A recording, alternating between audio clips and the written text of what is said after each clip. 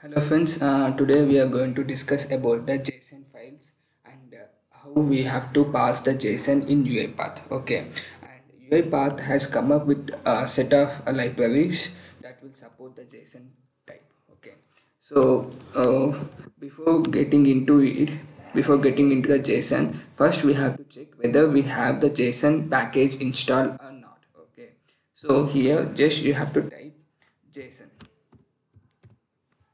activities pane you just have to type json okay? Then if you're not getting anything that means json file format json uh, libraries are not installed in your machine. If you are getting these two functions that means json json libraries are installed okay? So in order to install these json libraries you just have to go to this package manage manage packages folder and click on this available and uh,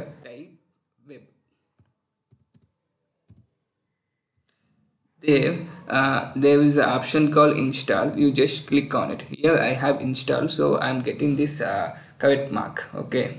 So once that is done um, once that is done that means you are having the JSON uh, uh JSON uh, activities installed in your UiPath okay? So once that is done let's uh, there were you can see there were two methods related to the json okay. One is deserialized json and the other one is deserialized json array okay. So we'll understand the difference between those two by looking at the real-time example.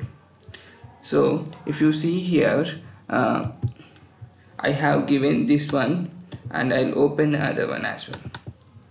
So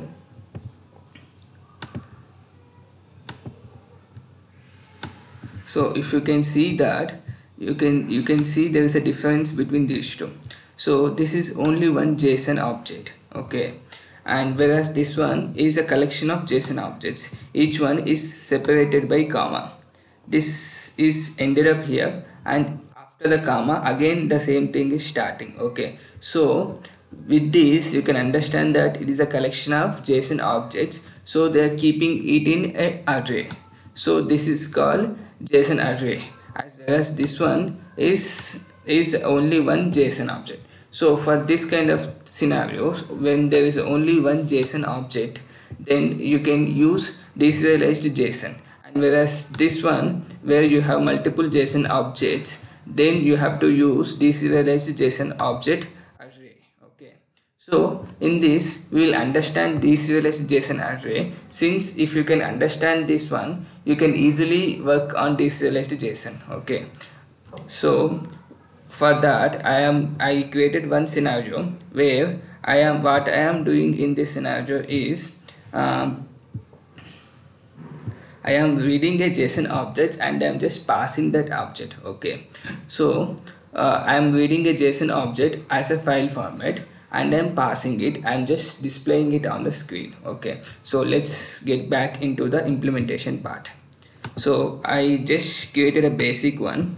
Here I am reading I am using this activity called read uh, text file okay? So in this read text file I am giving the path of the path of the JSON file okay? So here I am giving the input JSON which is a the uh, collection of JSONs. It is an array of JSONs. Okay, so for that, um, for this activity, you can see I am keeping them in um, output type is JSON parsing. I have created that one JSON parsing as a string type. Okay, so once this is done, that means it will read entire file and it will it will have the content of that json in json parsing object as a string type okay?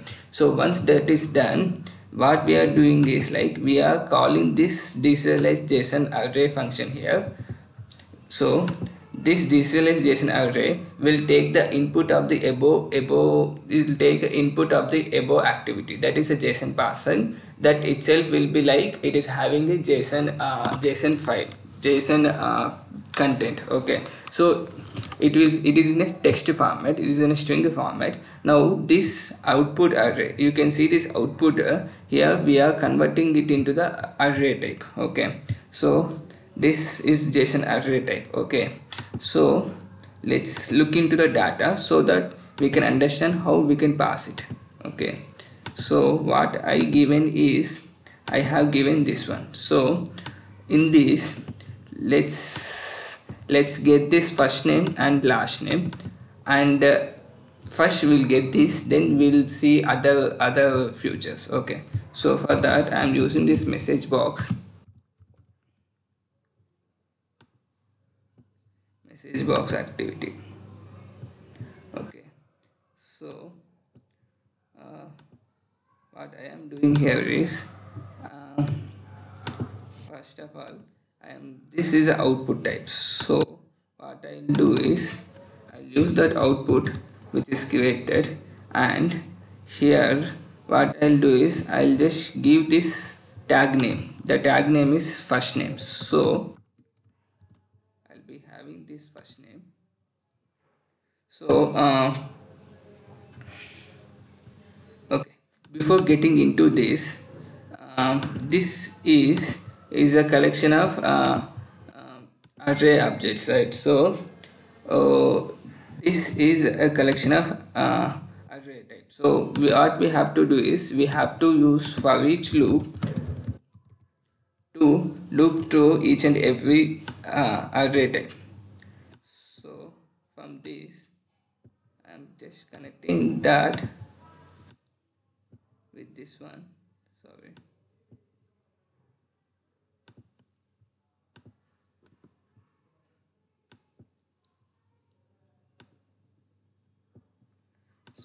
here what I am doing is like output. I am giving this output here item. Here the type should be of json dot this one. J j token type okay. Once you got that type what you can do is like you just uh, message box. And you understood right from where did I got. If you are not getting it you can click on the browse types. There you can give the JSON type. JSON J token right? J token. So this is the one that we are getting here okay? This is the one. So then what I'll do is item of the name we are displaying first name as of now that is first name first name dot. I'm converting it into a string format okay? So let's save this and run the uh, activity. So you can see you got John okay? So the next one again uh, if you see this one this is completed. So you will get John again second one Maria and uh, that's it. John the next one is John and Maria okay? So you understood right how we are printing in the same way you can get this last name you can get this age okay. These are the key value pairs is easy to understand. Let's get into little complicated things here okay. So let's get let's look at these two types here. These two are different type than other things. If you look at this address address itself is again a json object. And phone is phone number is a json array okay. So let's look into this address. I want to print this city. City. So in order to print what is the value in the city what we have to do is we have to select this address then we have to select that city. So what I am doing is carefully observe here. This is very important. Address.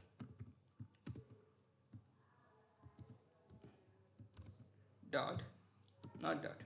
Again this is a json here till is a json json object. Again i am setting another object that is city okay. Then dot to string. I'm just converting it into a string. So you could have understood from now what is the values that I am expecting is New York and another value that I am expecting is New Delhi and another value is uh, Michigan. So let's run this and see what the value we are getting. New York New Delhi and Michigan. Okay. So I hope you people understood. Then uh, uh, so as of now in this we understood two different concepts two different things. If it is a straightforward one directly we have to give this first name. If it is inside another json object type then we have to give this parent one this is address. Then the child one that is either state if you want to get the state you can use this state. If you want to use this past postal code you can use that. Now let's get this type number okay? So if you observe this this is a json array okay? This is a json array. Then you have to do that number okay? So for this kind of scenarios what we have to do okay? Friends uh, when i am doing this kind of things i really struggled a lot so uh, i hope you'll put some effort to understand this. So it's easy for you people to understand so that you can easily understand and you can easily implement it okay?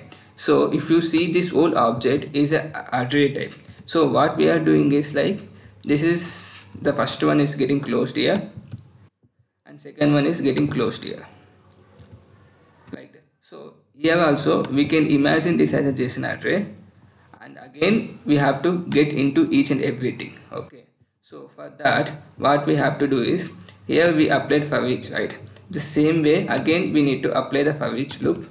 So i'm just deleting this message box. For each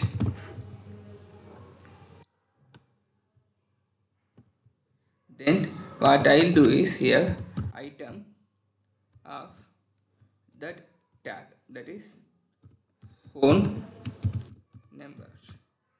So this is done. Now what we have to do here is we have to change this type to the json object type. This is a json object type because this is again an object. So once we get this um, let's get into let's display that mobile number message box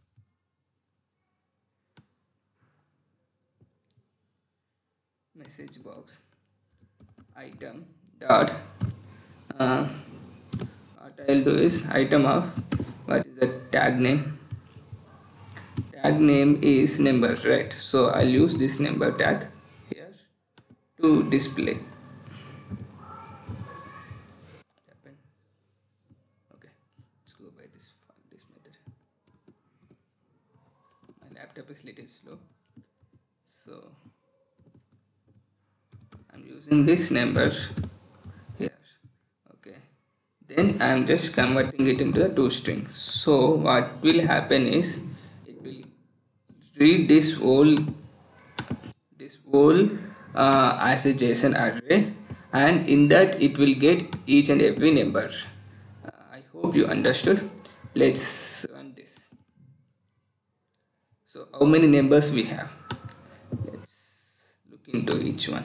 So that easy for us to understand. You can see this one is getting printing here. Cool.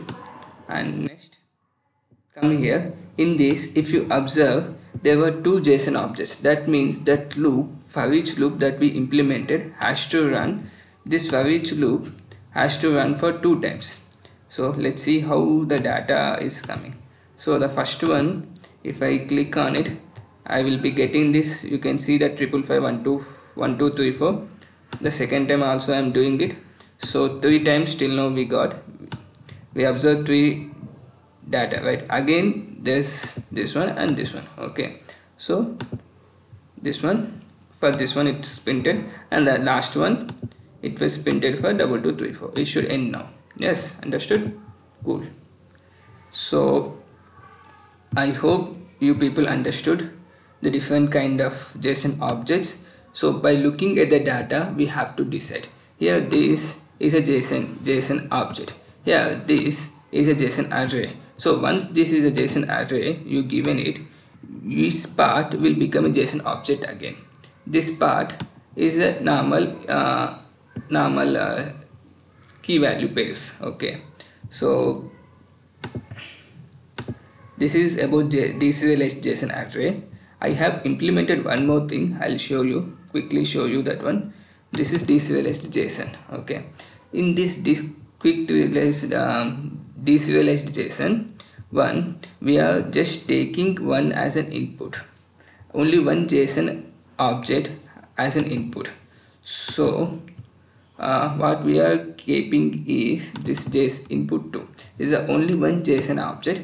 This we are taking as an input so you can see that I'm giving this input as a, this one.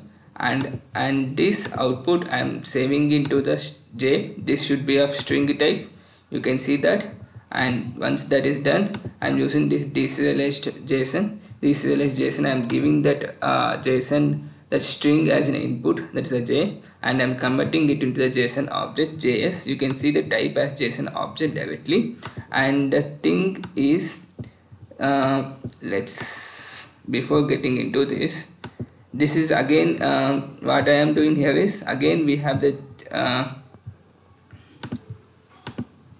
we have this one right? So and this is again i am showing here. You can see this is phone number which is again a json uh, json object item.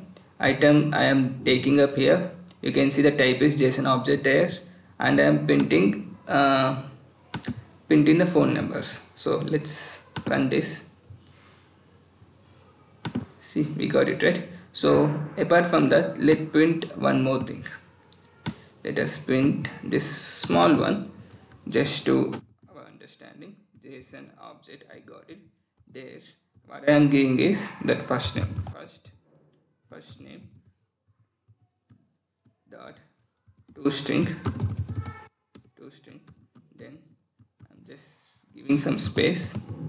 Then this is the normal one first string first name. As we discussed what we'll do this time is we'll bring the state object. State is a uh, address and state. That way we have to uh, this state is a child one huh? so we have to refer first the parent one then the child one.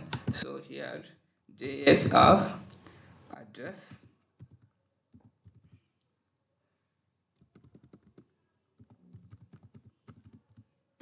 address of state. So dot to string. So let's run this. Okay there are some issues it seems. Let's look at them. What are the issues? Let me save this. Run so you can see first name John and the state is NY then that phone number is coming. Okay. So I hope you people understood clearly. If you are having any doubt please uh, mention that in a comment so that I can refer and I can explain you. Okay. I'm Karthik signing off. Thank you